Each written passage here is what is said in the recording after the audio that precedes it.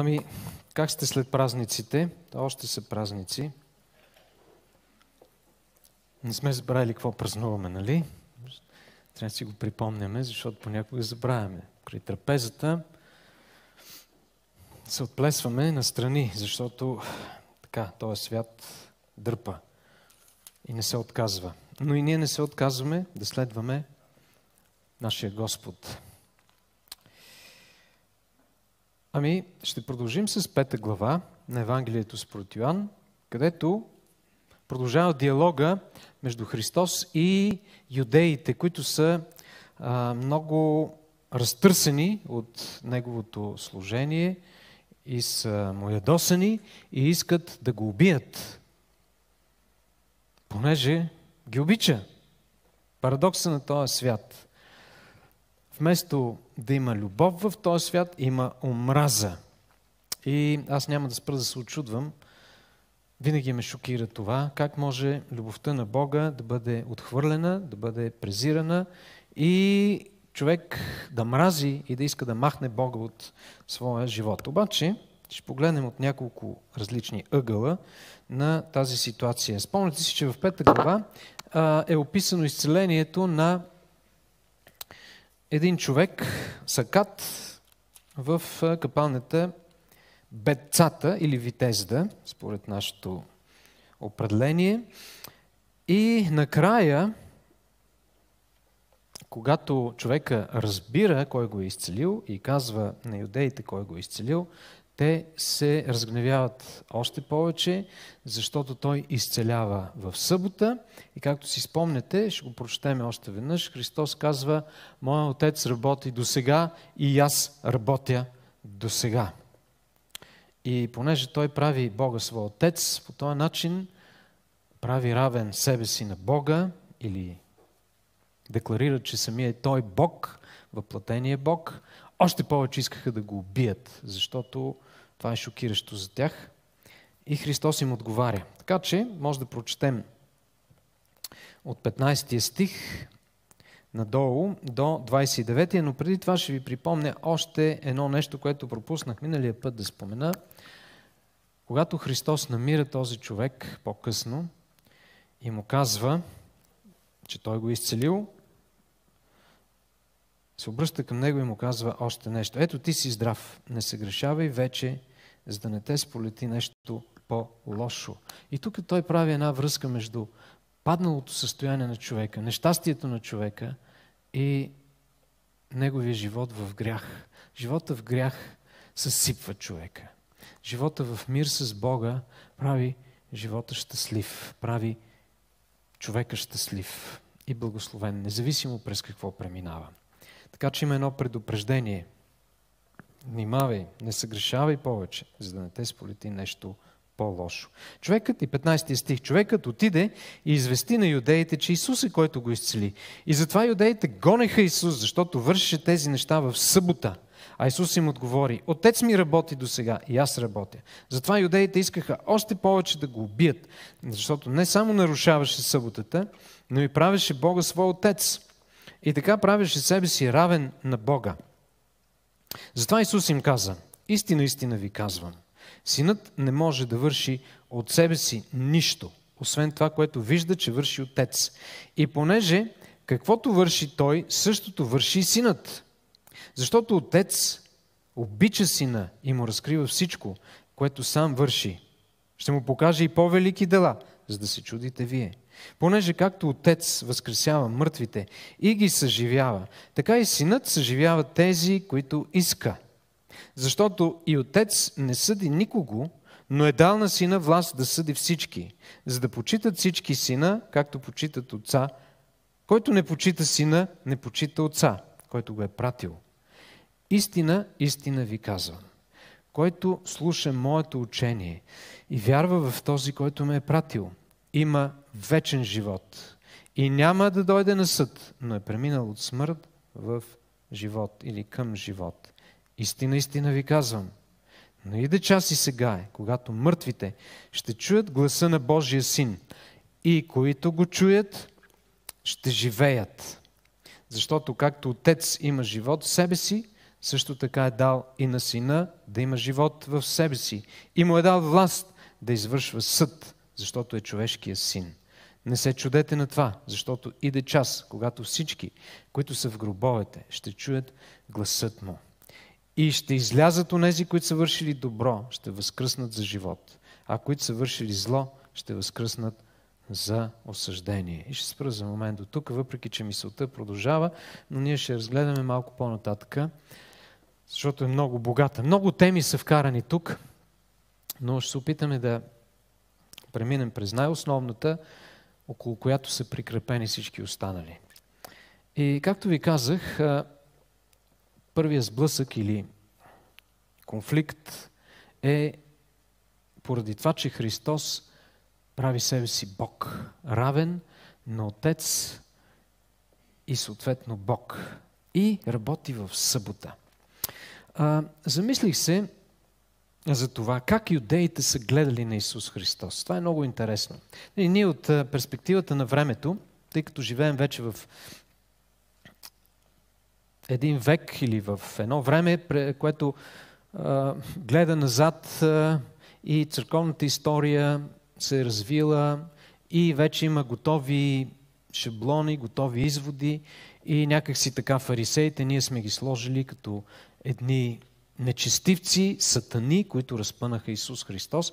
Тук обаче не се говори само за фарисеите, се говори за юдеите, които го отхвърлиха и които му се ядосаха и го мразиха. И както започнах, за мен е шокиращо как е възможно човек да мрази Бога при положение, че Бог го обича. Обаче, истината е тази, че не е толкова просто всичко това, което виждаме тук. И тези юдеи смятаха, че вършат нещо добро. Ако ние се върнем назад и се опитаме да погледнем през техните очи, ще видим колко е шокиращо това, което Христос прави. Колко е шокиращо, предизвикващо и разтърсващо и дори събарящо всичко, на което тези хора са градили и са стояли. Ако си спомняте, с което съм сигурен, че си го спомняте, закона изисква, декалога изисква от юдеите да не си правят никакъв образ на божество. Защо го изисква това Бог от юдеите? Защото Бог не може да бъде изобразен от нищо на този свят. Няма еквивалент на Бога. Вчера си мислих, или не вчера, ами непрекъснато си мисля, а, че ако има някой над Бога, нека да се открие, за да разберем някой по-съвършен. Но идеята или думата Бог съдържа в себе си а, концепцията, че няма някой над него. Той е над. Той е абсолютно съвършен. И, освен това, така наречения трансцендентен Бог, т.е. отдалечен или много различен от нас. По никакъв начин ние не можем да го уподобим на нещо. И ако го уподобяваме на нещо, ние го принизяваме. Ние го унизяваме. И това нещо е забито в съзнанието на юдеите. Няма как нещо на този свят да може да го изобрази. Бог е непознаваем. Даже в богословието, православното или източното богословие, се издига тази идея, че Бог е абсолютно непознаваем. Ние не можем да го познаем. И тук за мен е пък другия парадокс. Как като не може да го познаем и никакво средство не може да го изрази, пък имаме съответно образи на икони. И как се съчетава? Това има такива хубави врътки, които се използват, но, но за мен това е нещо неразбираемо. Но както и да е. Поради тази причина, за юдейна Бог да се ограничи и да влезе в човешки образ е немислимо. Това е абсурдно. Това е еретично. Няма как да стане.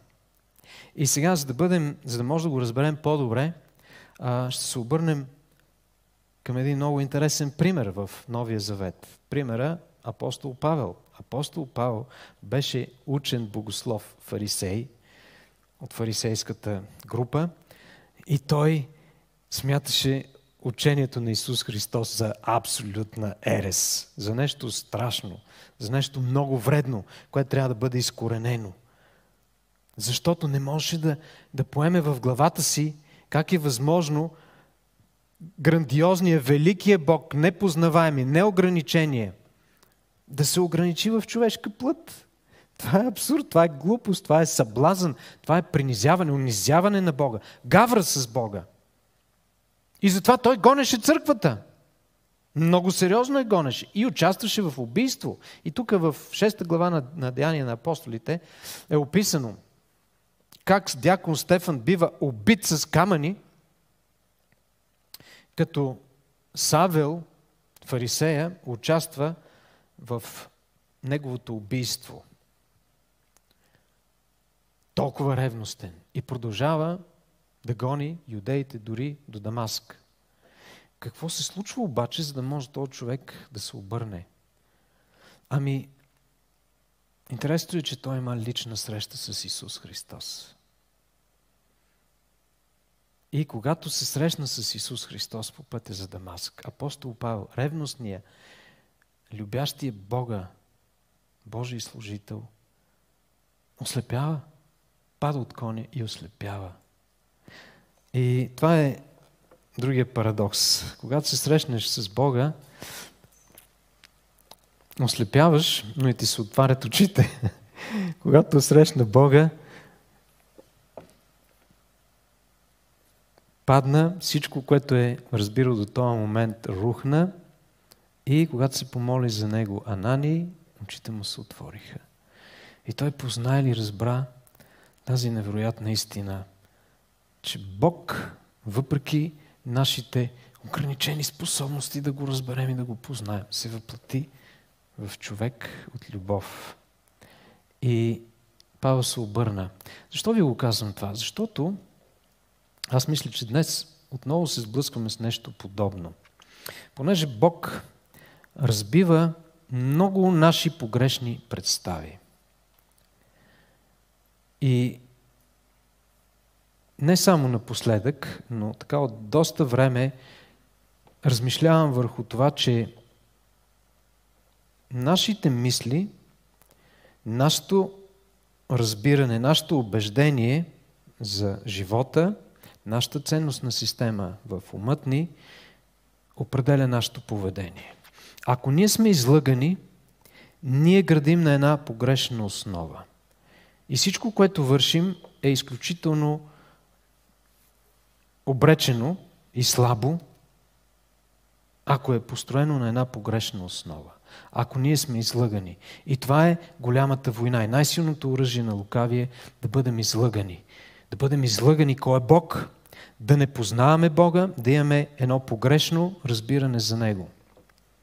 Това е което се случва с юдеите, най-религиозните, които разпъват Исус Христос. Те имат едно много погрешно разбиране за Бога. И въплатение Бог слиза между тях. Но те го убиват, защото не виждат, че това е въплатение Бог. Понеже не може да влезе в техния ограничен ум. И си мисля, че тук има няколко полуки, които ние трябва да извадим за себе си. Има хора, които са заблудени. И понеже са излъгани, затова поведението им е погрешно. Ние сме много бързи да осъдим такива хора. Но тези хора, и за тях е дошъл Исус Христос, и затова Той води този диалог с тях и им обяснява в следващите редове какво всъщност прави, кой е Той и защо го прави. Той не ги отхвърля. Ако има такива хора в живота ви, тези хора са излъгани и трябва да познаят Бога. Представете ли си първите християни и апостол Павел или Савел, който е гонен от църквата?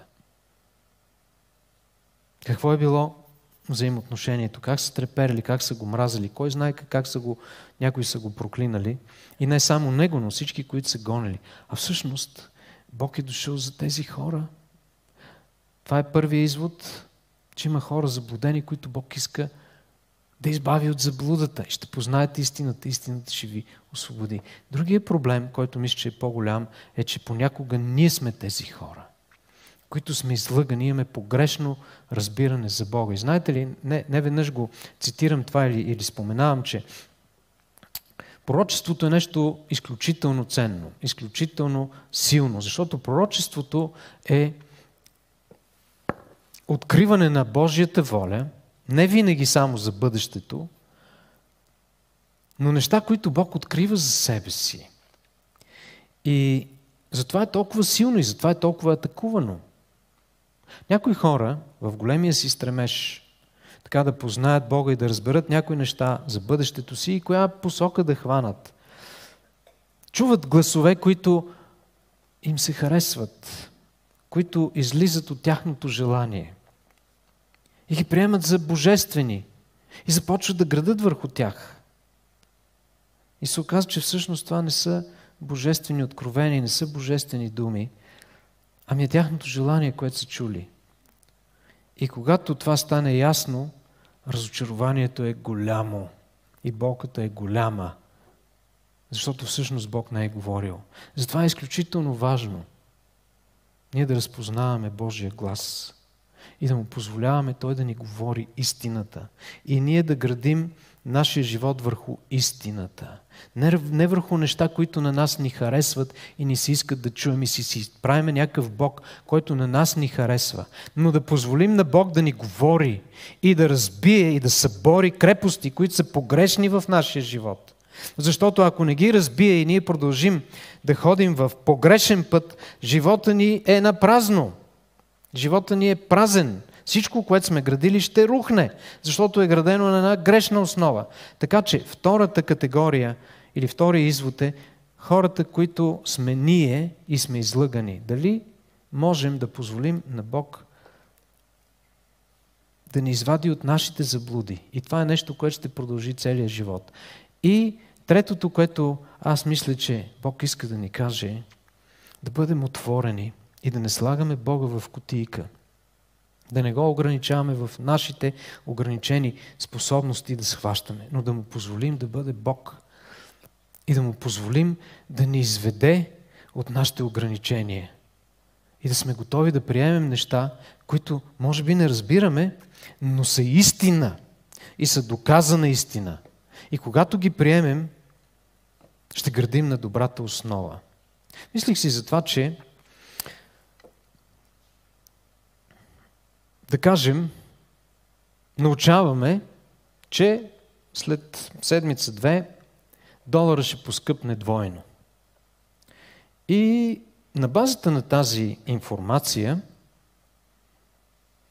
ние решаваме да купим долари с нашите левове. Дори взимаме на заем, откъдето можем, за да купим още. Защото след една седмица или две долара ще се отвои. Купуваме, купуваме, купуваме, взимаме заем, купуваме. И след две седмици долара вместо да се качи, пада двойно. И какво се случва? Брутална загуба, пълен провал. Всичко губим. Защото сме стъпили на някаква си информация, на някаква си истина, която се оказва неистина. И всъщност целият ни живот прилича на точно тези стъпки, които ние правим на базата на някаква информация, която често пъти избираме да бъде така, че ни харесва на нас, без значение дали е истина или не е истина. Нека да градим живота си на Божията истина. Бог е критерия, Бог открива. И когато градим на тази истина, ние ще имаме добър успех. Няма да рухне нашето дело, което не е наше. Затова Христос ни казва, ако искате да успявате и финансово, и духовно, преди всичко търсете Божието царство. Търсете Божието царство, дори това да ви коства абсолютна загуба на всички материални неща. Защото гаранцията за истински успех се крие там, в граденето на Божието царство. Понеже това е истината. И тя е валидна не само за този живот, но и за вечния. И така, фарисеите имаха пред себе си въплатения Бог и бяха пред дилемата да разберат дали наистина това е въплатения Бог или не е. Но понеже тяхната глава, тяхното разбиране, тяхното мислене беше форматирано за това, че това е невъзможно, те отхвърлиха истината, че пред тях е въплатения Бог. И това, е, това ги доведе до пълен крах. Но най-интересното е, че измежду тях много хора се разчупиха и приеха. Един от тях е Никодим и не единствен фарисей, който се обърна към Бога и беше спасен и прие Христос за Спасител. Така че, това е първата част. Втората част са аргументите на Исус Христос, които прочетохме. И накратичко, това, което се казва в думите му, или което той казва със своите думи е, че всичко, което Христос върши, всичко, което аз върша, казва Христос, е това, което виждам в Отец. Аз не мога да свърша абсолютно нищо, ако не съм едно с Отец. С други думи, това, което върша аз, го върши Отец.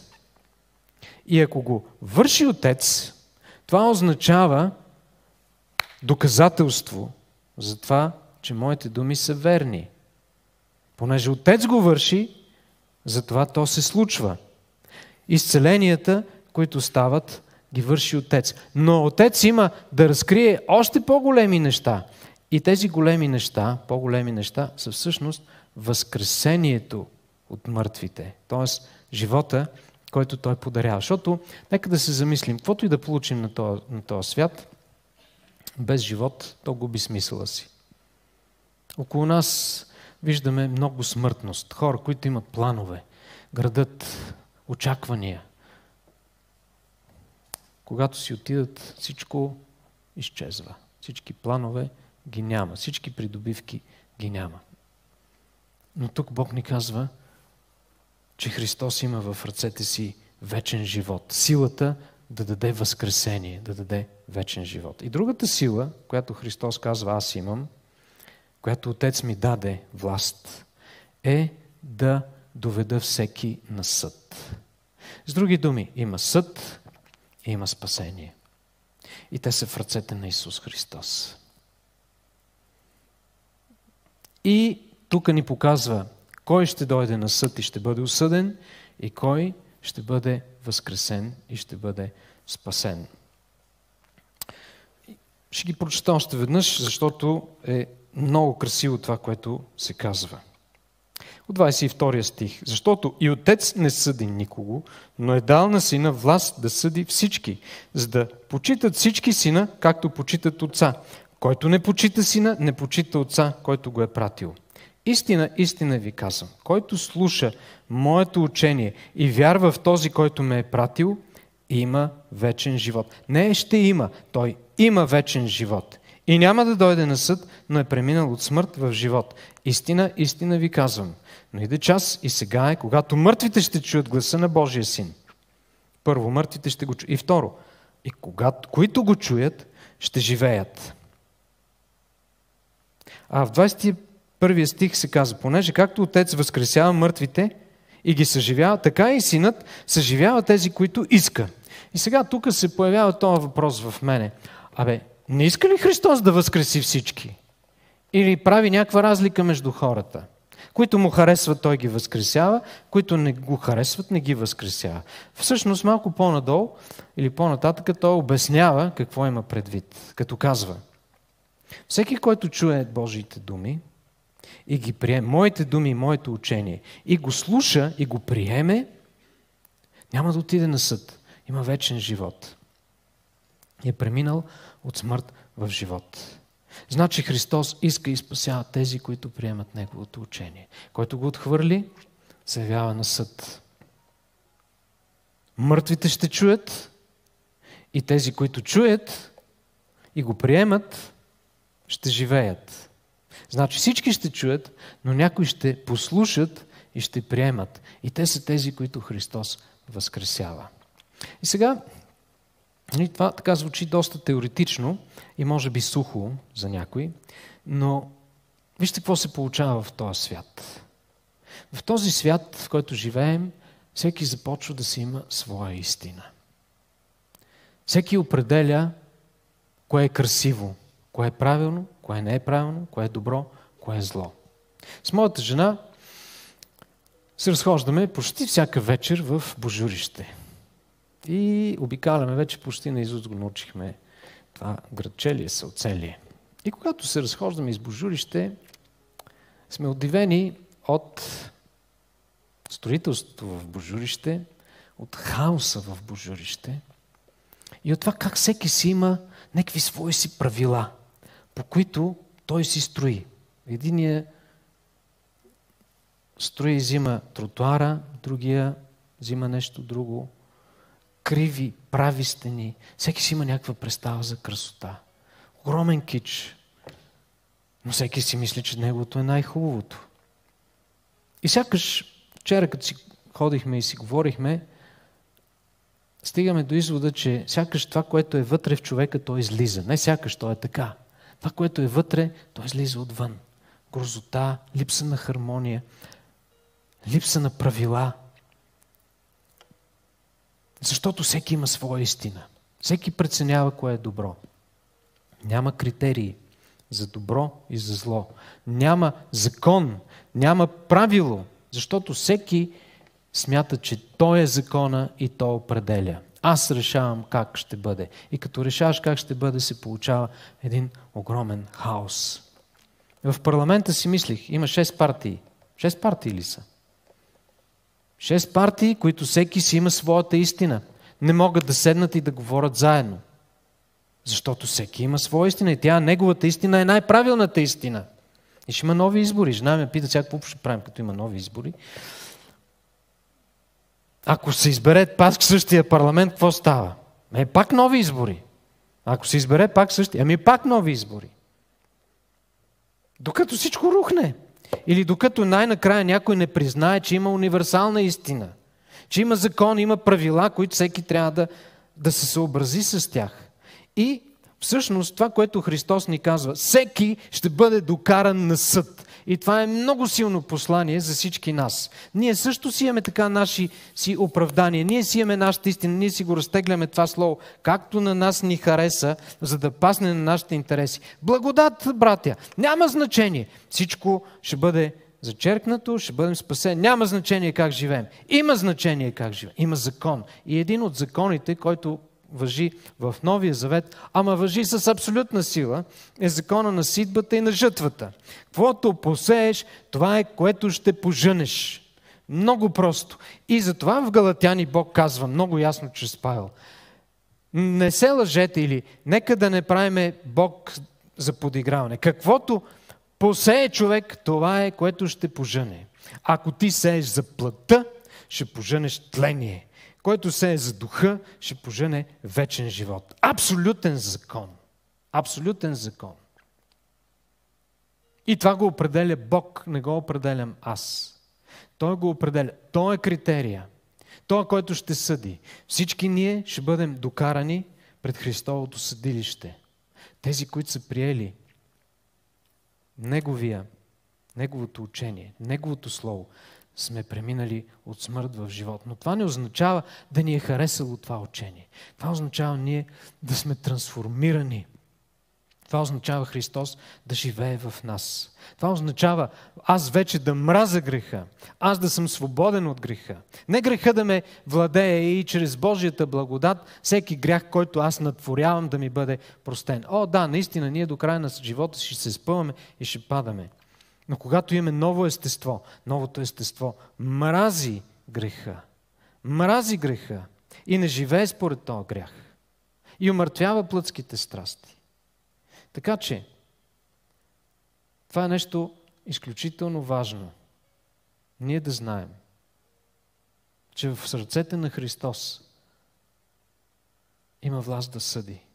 И Той ще осъди всеки един, който не е приел Неговото Слово според това, което е вършил. И другото, което е много важно. В нашия християнски живот има един закон на сидбата и на жътвата. Ако сееш за плътта, ще поженеш тление. Ако сееш за духа, ще поженеш вечен живот.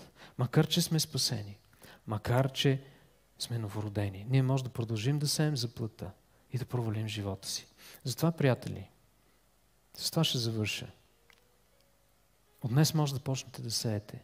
От днес може да почнем да сеем. Да сеем за духа. Ако някой е крал, да не краде вече.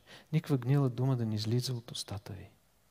Търсете това, което е добро за ближния. Изпреварвайте да си отдавате един на друг почет. Търсете преди всичко Божието царство. Не търсете какво ще ядете и какво ще пиете. Не се грижете за този корем. Този корем ще бъде унищожен и храната. Нищо няма да остане от него. Но има едно друго сърце, едно друго тяло, което остава. Нека да храним това тяло, нека да инвестираме. И знаете ли, тогава по улиците ще се изпреварваме да си отдаваме почет, да си отдаваме правото. Няма да се засичаме. Няма да минаваме на червено. Няма да се злословим. С жена ми пак си говорим и си казваме, ей, в нашата страна няма някой, който да ти каже, браво, много добре е свършено. Ами всеки ще те търси да ти намери как да те смачка и да те препъне ти каже колко си накадърен, колко си тъп, как не става нищо от тебе.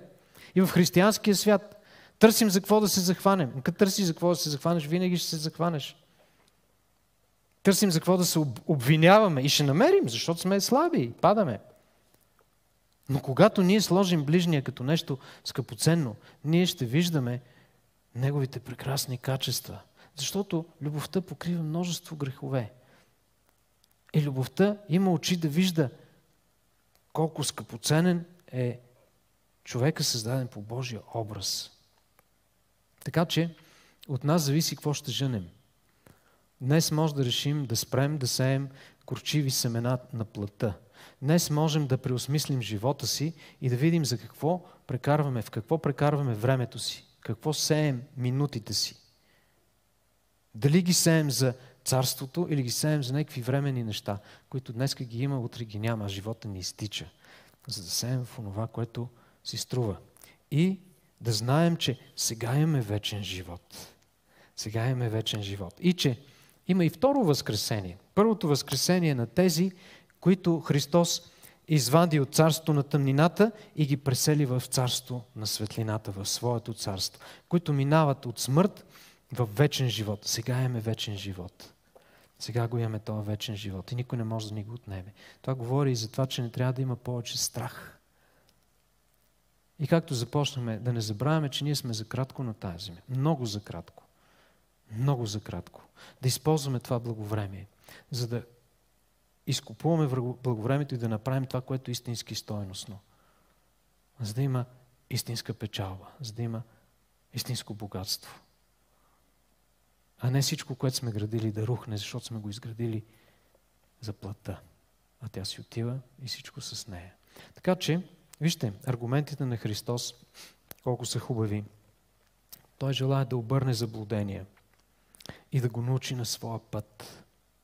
Да го научи за това, че каквото се е, това ще пожене и че ако приеме неговото учение, има свобода от греха, има вечен живот.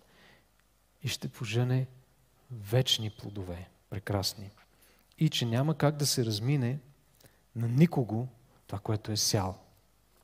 Защото в ръката на Божия син има власт да съди и ще съди.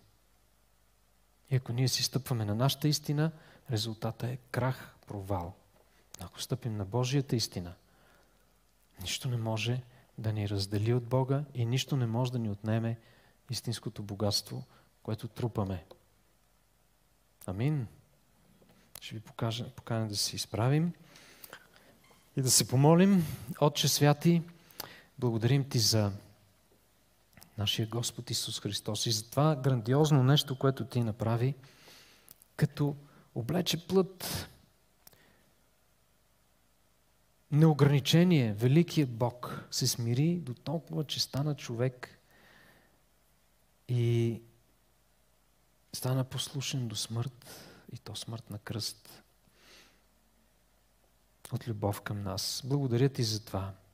И се моля така да ни говориш, че да те разбираме, да бъдеш търпелив към нас и да ни се откриваш и да събориш всичките наши погрешни представи, за да може да те познаем такъв какъвто си. Да ти позволим да умъртвяваш онова, което е зловредно в нас и да оживотворяваш онова, което е скъпоценно. Моля те за това. Дай ни меки сърца да сеем това, което е добро и да сме покорни на Твоето учение и да живеем според Твоята мъдрост и вдъхновение от Твоя живот. Така че да имаме ни сладки плодове. Още тук, а и за вечността. И за да може да променим хода на това общество, което върви надолу и се саморазрушава. Да бъдем онези, които светим, които сеем добрите семена и не се обезкуражаваме. И ще видим добрия плод, защото пак Твоя слуга е казал, че тия, които излизат да хвърлят семето с сълзи, с радост ще събират жетвата. В името на Исус Христос се молим. Амин. Амин.